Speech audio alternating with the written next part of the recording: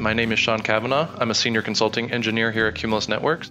Next, we're going to compare OSPF config on Cisco, on a Cisco Nexus compared to Cumulus Linux. We're going to look at the command line interface for each, and of course the rendered config.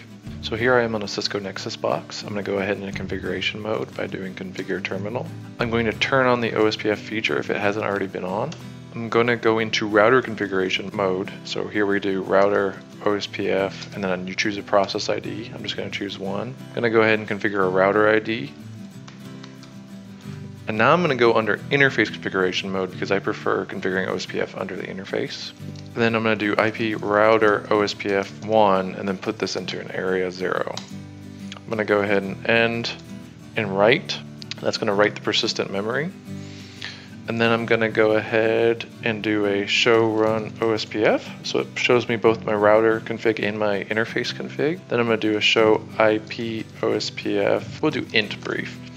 And this will show me what my OSPF process ID is and what interfaces I'm running on. Finally, I'm on Cumulus Linux. I'm going to go ahead and do a net add OSPF router ID.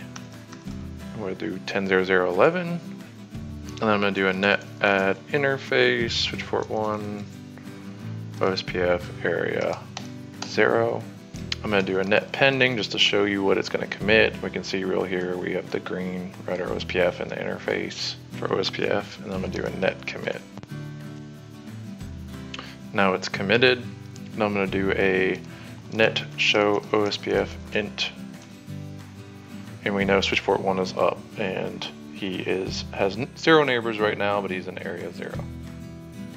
So to summarize, with Cumulus, we just use the nclu net command. So we do net add OSPF.